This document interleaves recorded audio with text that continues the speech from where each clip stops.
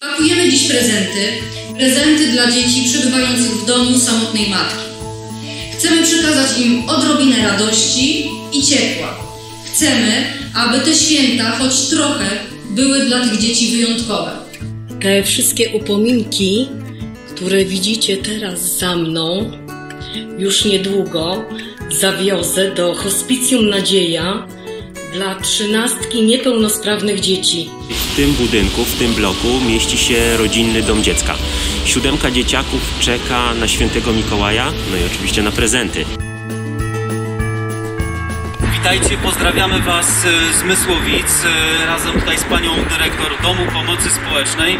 46 podopiecznych, najstarszy 85 lat. Wszyscy czekają na świętego Mikołaja. Zbliża się zima. To trudny czas dla zwierząt mieszkających w schroniskach.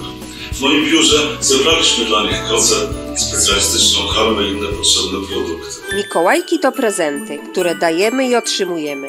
Jak co roku przygotowuję paczki dla dzieci, które na nie czekają. Słodycze, przytulaki. Z całego serca przekazuję je do domu dziecka.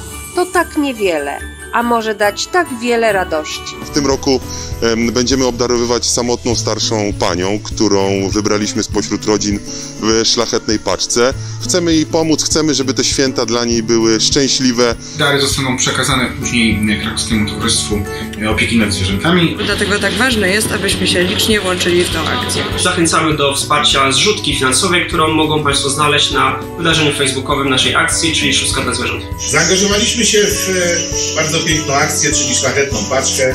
Przygotowaliśmy dla Pani Stanisławy paczkę, którą sobie wymarzyła. Zdrowych, wesołych